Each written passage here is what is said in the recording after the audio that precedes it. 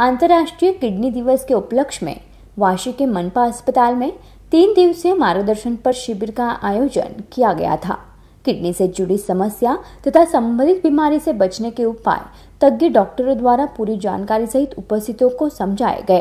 Kidney fail होने की वजह डायलिसिस जैसे उपचार पद्धति, साथ ही नियमित आहार का महत्व बताकर डॉक्टर एवं आहार तज्ञों ने इस उपक्रम के ज़रिए मार्गदर्शन किया।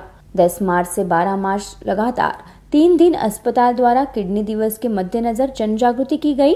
इस गंभीर बीमारी से बचने हेतु सेहत का साथ ही खान पीन का खास ध्यान रखने की जरूरत भी डॉक्टर ने स्पष्ट की और उपस्थित मरीजों को उपयुक्त सलाह भी दी। मुख्यत्वे जे आमच्याकडे सध्या पेशंट जे चालू आहेत जे डायलिसिसवरती आहेत त्यांच्यामध्ये आम्ही अवेअरनेस आणि प्रेशे किडनीचा आजार अजून वाढू नये यासाठी काय काळजी घ्यायला पाहिजे आणि त्याच्या आजारामध्ये डायलिसिसचं महत्त्व काय आहे?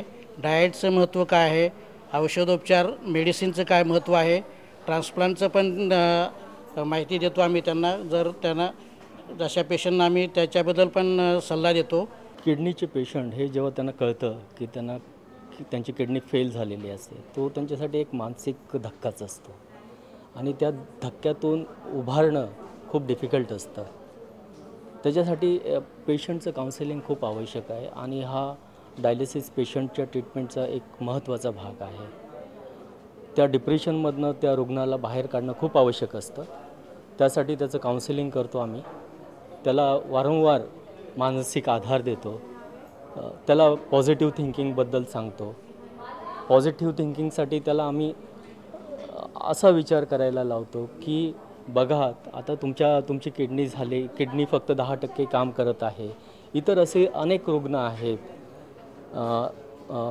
उदाहरणार्थ लिव्हर आजाराचे लिव्हर जर दहा टक्के काम करत असेल किंवा हृदय जर दहा टक्के काम करत असेल तर त्याला कुठलीच ट्रीटमेंट नाही आहे.